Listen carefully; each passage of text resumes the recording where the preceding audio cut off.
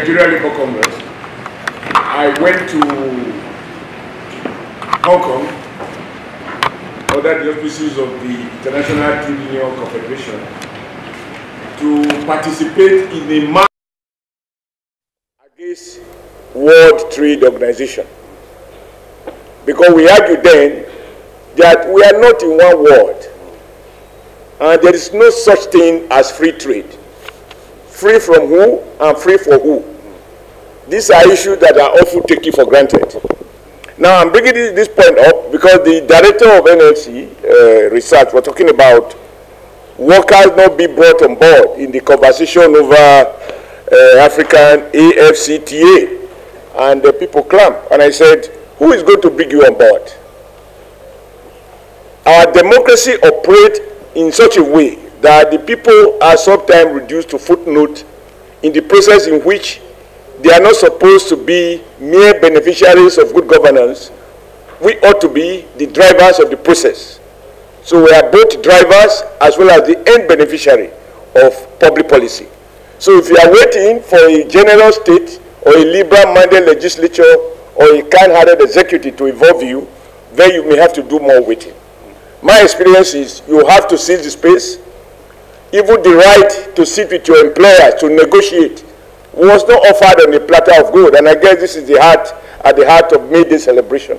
So Nigerian workers must understand that public policy that affect them, they must insist and create capacity if the state refuse to engage.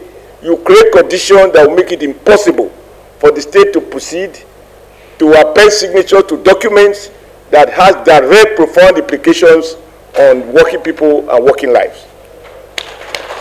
Number two, I mentioned Hong Kong. Hong Kong was a major beneficiary of export.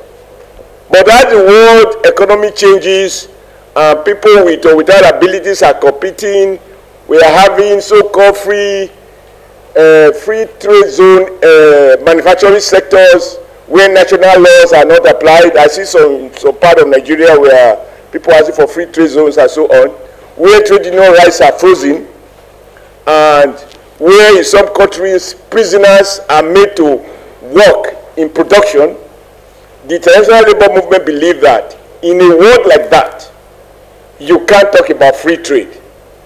And we have to be very, very careful. Number two, I asked my question, just listen to the speakers. How does this African Trade Agreement relate to World Trade Organization? Because the World Trade, as I understand it, I don't lay claim to any expert. I have been involved in interrogating those who know, because that is what as union leaders were equipped to know, even to interrogate those who are experts. Is that they are committed to promoting free trade around the world. So when you have free trade within the African continent, does that shut out non-African countries from access to African market, particularly countries that are signatories to World Trade Organization? I think that a couple of issues said that we need to be explained so that we can understand, or I can understand a little better. Number two, I listened to the custom uh, representative, and he repeatedly used the word custom as a revenue collection agency. Let me share my own ignorance here. I didn't think that custom is about revenue collection.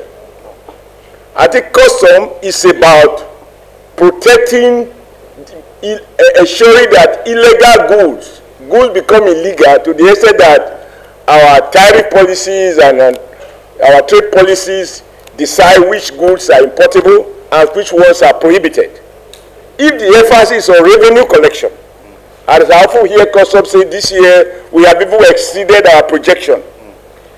The level of revenue you collect, in my view, is a reflection of the extent of our dependence on importation. Because you don't import, you don't go to collect tariffs. So, my first assignment to uh, to to, to uh, uh, custom, if I had the power, is not to emphasize revenue collection, is to prohibit importation. Uh, I mean, enforce the tariff policies which are meant to protect local industries and get a critical balance between aggressively pursuing money from genuine manufacturers that want certain inputs that are not available locally and also aggressively ensuring that prohibited items are not in the country. If we make, want to make more money from customs, then we should remove everything from prohibition so that everything can come in and ensure that they pay correct duties and we can collect more revenue. But at, us, at what cost? That will cost uh, lead to job losses, lead to closures, etc., etc., etc. So we do need to understand the primary purpose, in my view. There are things we seem to have uh, taken for, for granted. And I think Mas, uh, Master, we should call you doctor now because, I mean, you, no, you are more sound in terms of uh, the practical reality with regards to production, uh, movement of goods within the region and so on. I thought if a guy did you know, I like to discuss in a level that we workers can understand ourselves. Before I begin to contemplate going to university, I think as a parent I need to ask, how far has my child done in a primary school? Did he do well to merit secondary school? And depending on how he, whether he made his work or not, then I will consider whether he should go to university. And looking at him, what, what is his area of, of uh, where does he have, seems to have a better aptitude in terms of career progression in the future? I would have liked to ask, before we begin to talk about free trade within Africa, how successful was our ECOWAS agreement? Because ECOWAS, I understand, it was meant to promote free trade, movement of goods and, and persons within West Africa. And what have we seen? The custom man eloquently showed us how, under the guise of ECOWAS, many ECOWAS countries who simply don't have production base simply became, by government official policies, particularly in the smaller countries around us, became a dumping ground for prohibited goods. They legalized their import into their country, but Nigeria is the destination. And you now have to resort to methods which in a democracy are arguable, namely having to invoke the power of the state to decree that we close our borders. How has the common currency worked for Europeans when you look at some of the crises they've had in Greece and several other Africa, uh, several other European countries? So me, I don't do things because others are doing it. I have to do something because it suits me. This is the time to borrow the only one word one man used somewhere. I don't want to mention his name so that his disease doesn't affect us. This is the time for Nigeria first. Because the logic of a continental trade, as one of the speakers mentioned, was to have access, from Nigeria point of view, instead of being limited to a market of 200 billion, you will now have access to a market of 1.2 billion. Theoretically, this is fine. If you were confronted with a situation in which you have so much to sell, but you have limited outlet to sell it. So you are now going to a trade agreement so that you can have access to other markets. But I ask us, even I should try hard, and it's a good effort, Mr. President, to wear made in Nigeria because it will be very difficult for you uh, are textile workers who are committed to protecting textile jobs to go and be importing t-shirts as we used to be as we used to do before. But look beyond your clothes and look at your socks. are they also made in Nigeria? I can see Issa Aremu I'm looking at his shoes and I'm looking at my own shoes. They do not look like product of Leonard's. They don't look like of Leonard. No, don't help me. I, I, said, I said your shoes and my shoes. I'm not excluding making excuses. They are neither made in Nigeria. I know, I'm not even sure they are made in Africa. But I use this up because we have so many things in common. We look smallish and we have both work in the textile union. So he will not pick offense. In any case, we can afford the mutual physical fight. But every other person, there and here, we are all wearing smuggle shoes. I suspect that the custom officer's uniform is not Nigeria made, and therefore it's smuggled. Now, if we play back, if I were to have access to state information, God knows as a governor of Edo State, I had the privilege to sit in a meeting of National Economic Council and National Council of States. And I said to our late President Umaru Musa Yaradua, I said, government has turned Nigeria to a free, to duty-free country. Duty-free in the sense that, at the very best, we have the political will to prohibit a number of items, including furnitures, including certain categories of fabric, leather, and several other things. And yet, every Nigerian knows how much you pay to get, um, what do you call it, a container of any of the prohibited items. So the result is that because they are prohibited, Nigeria collect no duties. So the, that's why I call them duty free. And because of the excess of penetration of these uh, uh, prohibited items, it means that effectively Nigeria is basically a duty free country. Here we are not an international airport. But even when you buy duty-free item in an international airport, in countries where laws are strictly enforced, when you get to your country, other than the duty allowance, which Nigeria Custom will advertise on arrival, every other thing you bought at duty-free, you want to pay duty on it once you exceed the, the maximum allowance, which is no more than $500, I, I, I suspect. So everybody is smuggling. Police are smuggling uniforms. Nigeria Army is smuggling uniforms. Nigeria Air Force is smuggling uniform. Who is not a smuggler?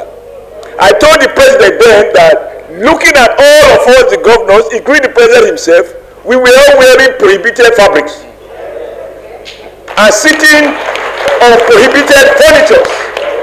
There is room for special, I mean, for frank engagement between victims of incoherent policies and those who churn out those incoherent policies. There is need to find courage to engage those responsible for policy which they have refused to enforce and those who are victims of lack of enforcement or policies that appear to be good on paper. So my point of departure is why expand beyond ECOWAS where we couldn't even manage ECOWAS? And as we speak, middle of last year, we saw Nigerians be fought in South Africa. So Africans aren't even allowing Africans to set up legitimate businesses in African countries. I have been reading over the past two weeks suggestion that we should evacuate Nigerians for Ghana. So the Ghanaians are not tolerating Nigerians, not managing smuggled goods, but just to participate in the economy in spite of the provisions of ECOWAS. I'm asking myself, in my own ignorance and very limited knowledge of international trade, that if really this is who we are, what is the theoretical foundation and what is the experience that formed the policy that we should expand further? So I, I want our experts to take care, to take note of this. The advantage I have is that if I am wrong, I am not an expert. I don't have to be right. But if I manage to be right, then uh, it's just a miracle. the in our sub-region, what is their production base? I think Engineer Masu referred to that. Africa countries that can be said to have a production base. If you are not, if you don't have a manufacturing base, what is it that you seek to move freely within the continent? So people are going to be signatories And if you, if you, if you, if you look at those who, are, who were in a hurry to sign, they are precisely those who have no manufacturing base and no goods to sell within the continent. And I suspect that they do so because they are going to set up free ports and Europe and America, Asia, every other part of the world, we, we use their ports. They will put their country labels if they want to even disguise it, and, Afri and Nigeria will be the destination. I think that we need to be more sensitive at this time. And I'm happy with the, what the director of NSC said about employment and so on. First is that I wanted to shift, shift emphasis away from this, what has for me become very boring statistics about the population of our youth in relation to those of us. In any case, thank God I'm a, a youthful man. That's why I try to look as youthful as I can. And this face cap is helpful in covering the fact that my head is totally bad. Uh, even though I used to use comb when I was uh, uh, in my early 30s and late 20s. Are we actually asking the question, the world we are in now, is it one in which it's about the quantity that define the energy? No. In my humble opinion, no. It is the quality of the skills of our youth. So when you refer to qualitative, just speak to the quantity. And you are silent about the quality. I'm afraid in a world that is knowledge driven, we do need to ask far more fundamental questions. So, and what is the problem? A Employers, I'm sure uh, Masur will tell you, because you see, we can find the faults without tracing the root. Let's avoid dealing with consequences and avoid the primary causes. I'm sure that for the Dagote group, it will be cheaper to employ Nigerian engineers, electrical, electronic, whatever, whatever, whatever. And they're even more reliable because they don't have to claim they are going on holidays and they get caught up with a coronavirus lockdown. And I know that by reason of my pers personal relationship, you had issues with people who, who travel out because of the lockdown and they couldn't come back and production is waiting because the countries have closed borders. So it is not cheaper for the employer. Now, what is the link between this and the fact that our own colleagues spend one day teaching and three days on strike under the umbrella of ASU? even at a time you are talking of coronavirus coronavirus coronavirus coronavirus has also created its own industry it created industry for researchers in universities it created small scale industries for the manufacture of uh,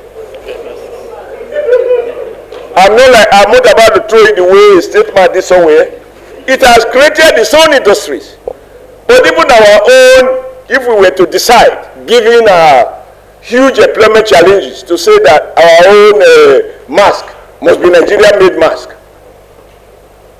That will create its own medium or micro or whatever name defined. So I think that we need to really ask more practical questions and examine ourselves.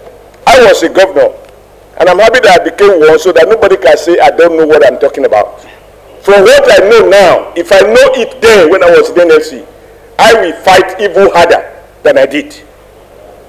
Because policies are rolled out without proper consulting those who will be affected. And you know how I got to know uh, Chief well, Alhaji Dangote Aliko was during the Economic Summit Group. I just find that ministers who are political appointees, not based on their background, not based on their line of training, they churn out and pontificate on policies on behalf of the private sector. And if a private sector operative asks radical questions, then you are targeted. So I was in this group and I was asking the questions that the big business people could not ask. And Aliko then asked me, then I didn't know who he was. He said, But you are Shomole. I said, Yes, but you seem to know our problem as much as we do, or even know it more than us. But you people are always fighting us. I said, yes. I don't like business people. But I just find that I need them for my own enlightened self-interest. Because when public policies or incoherent policies or lack of political will to enforce policies lead to factory closures, the first casualty are workers. And the fewer workers I have, the less my strength. The strength of a trade union is a function of the capacity and the viability of the employer that employ the workers. So when it comes to how to help businesses to grow, to create jobs, viable jobs, profitable jobs, we are building our strength to be able to confront. What does it make if I trade an employer who is trying to decide whether to close or not? I just I just give him ultimatum. So thank God, I will have other days to close my gate. So that all the other provisions in labor law with regards to redundancy payments and so on, I will be free. And we pretend that he went on illegal strike. Just go and sort out somebody at the industrial court. So I, I think that th these issues, my advice, Mr. President, and I'm very happy that the NLC Deputy President is here and the General Secretary is here. I think we need to organize a platform to engage with ministers, to engage not ministers of state only, ministers themselves, to engage the economic team, including the one appointed by the president, include, uh, engage those managing our Nexim bank, all of these institutions put in place, so that we can at least talk to each other and understand where people are coming from. So that we don't go and commit ourselves to agreements that will create problem for, for us. Those of us in the textile union, we knew. And that's why when you clamp for the guy who asked for free money, I am like, you have not properly understood where we are coming from. The textile industry did not collapse because of shortage of working capital. And I'm happy that we have uh, Engineer Masu, who, as I know now, had a terrible business that was dead to manage in a regime a, a policy regime under which you can smuggle in the very item he was trying to produce at Kaduna Textiles. So, going forward, I read an article somebody wrote today. Since he doesn't like me to measure his name, I'm not going to measure it. Manufacturing Africa. You know, we are not about to reinvent the wheel. We don't need uh, neither uh, AFC, ETA, etc. We didn't have those when we had Kaduna Textiles Limited, where you were managing director employing 4,000 Nigerian workers, running 24-hour shift. We didn't need this facility when we had Nospin Nigeria Limited, the British company. We didn't have this before we had Nota Nigeria Textiles, just close to KTL. We didn't have this before we had Notex, we didn't have this to have Fintex. We didn't have this to have Arewa Textiles, without which I will not be here. And this is the product of our fourth generation political leaders, like Sir Ahmadu Bello, who rightly felt that it is a shame that we grow so much cotton in the north. But we are not adding value, we are exporting the cotton to Europe. So to create jobs, we need to set up textile factories.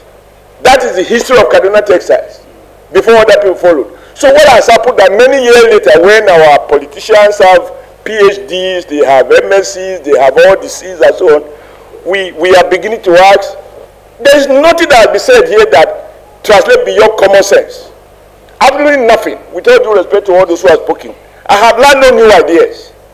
What is missing, which must insist, is the political will to get this through. And if we don't, we are finished. And I'm happy Aminu, Aminu Suleiman is here. I knew him through fighting an employer in Kano. He was fighting the union for not prolonging the strike, and I was trying to tell him we have to know where to stop it. Otherwise, we will bite more than we can chew. So now you are in the parliament. Me, I have expired as governor, but I have not expired as a Nigerian. I think that we need to engage evil asu. What are we teaching? Masu will tell you that a Nigeria graduate in chemical engineering, electrical engineering, mechanical engineering is not able to, is not readily employable because of the quality of instructions.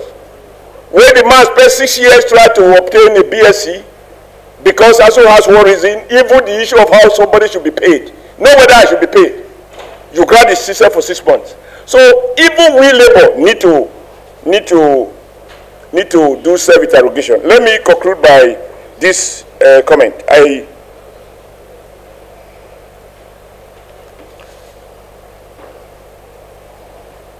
so I, I think that organized labor because the issues are the same. What affect the textile industry affect the leather union, affect the chemical union. NSC, can you remember when you had Michelin, when Nigeria has fewer vehicles on the road? Do we remember that we had Dunlop when Nigeria has fewer trucks on the road? Where is Michelin now? Where is Dunlop now? We are driving more vehicles. Where are the tires coming from, whether tubeless or with tube? Where? My final submission is that you must do what I will call, this is the new vocabulary, end power outage, no cash. Because, sir, if I'm wrong, educate me. That's why I like to ask these questions. I was trained as a union man never to be intimidated by professors. Because when I share my ignorance, they will be provoked to lecture me properly. Yeah. What, how do we get the textile industry back? So that we can have those 30,000 workers in Kaduna, those 30,000 workers in Kano, in Apapa, in Oshodi, in Isolo, in Port Harcourt, in Aba, in Onitsha, all of these people were producing fabrics. Whether Guinea brocade, Nonit producing socks, Universal producing towel, Gida Borogo producing a blanket. We can go on and on. I have clear memory. And I saw a bright future for a country that is moving away from exporting to try to produce. We must return there. Why did the industry collapse? Two things. The first is Nigeria going to submit to World Trade Organization free market. And I know it was one Ani, other Abacha who signed that thing. And if you ask your president, this is the area customs coming and public policy. We prohibited importation of certain fabrics, the custom people blocked the border. You had about 2,000 trucks of smuggled material that want to come into the country. And I remember in one May day in Lagos, I told President Obasanjo, thereafter he, he granted waiver, very dangerous word, waiver. Waiver means making laws and exempting some people from obeying those laws. So which means selective criminality that is legitima uh, legitimized. And Baba granted the waiver. Those trucks came in. They went to Kaswakore Kano and they were enough to feed the Nigerian market for almost a year or a year and a half. That is how uh, textile mill Ikeja closed down. And the textile employers clearly had no, no choice but to begin to look at alternative. And eventually they realized it was better to relocate back to China and other places, produce, ship them to Cotonou, and then other ECOWAS, bring them to the Nigerian market. There are some radical questions we need to have to ask. And this is not provoking you against anybody. Me, like Kamal said, the workers are going to lose, but they are chained.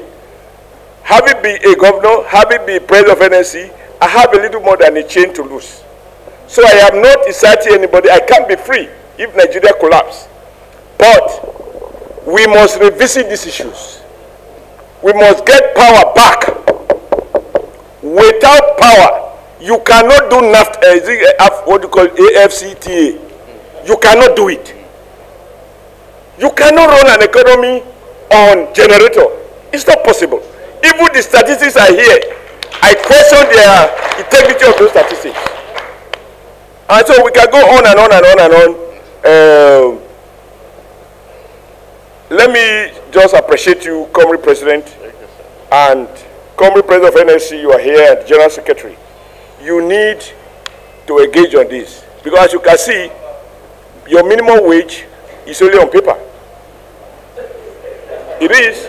With the combined forces of devaluation arising from foreign exchange crisis, because the contradiction between our monetary policies and our fiscal policies, the incoherence enough to create the crisis that we have now. That you want to save money, you save at 1%. 1%. You want to borrow, you borrow at 60, 40%. How? So you discourage people from saving and you pry money out of their reach. I don't know which model that is coming from. So you need a holistic interrogation of our industrial policy. And then say how will we fare if this one takes off by January. I suspect it will not.